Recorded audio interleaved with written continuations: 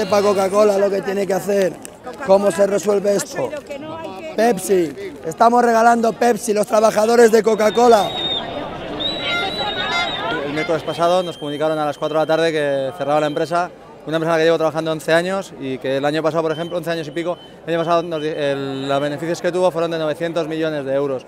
mi situación ahora mismo es que tengo una niña de dos años y medio, mi mujer está embarazada de cuatro meses y mi situación es que el día 28 de febrero estoy en la calle.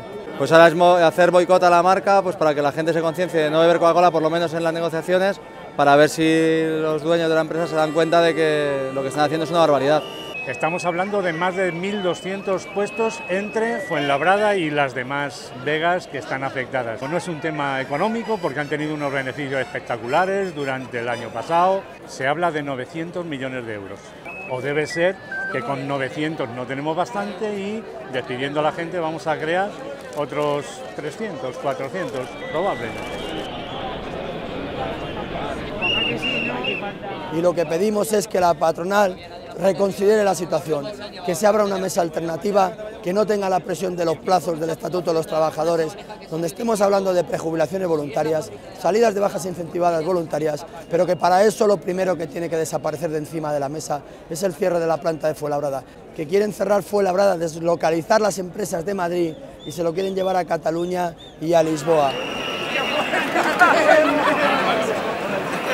La desde Barcelona, quieren traer desde Barcelona 400 camiones diarios de Coca-Cola para abastecer el mercado de Madrid, que es el mercado con más consumidores potenciales que hay en España.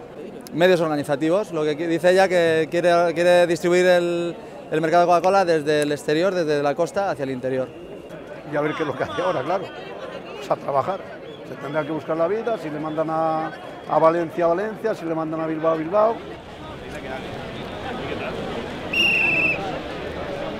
Está a 1.250 personas y también pues a mucha más gente que está pues trabajando pues para Coca-Cola como contratas, empresas de alrededor.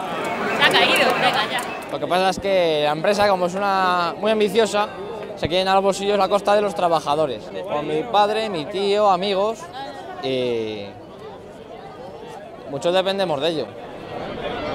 Déjala, déjala.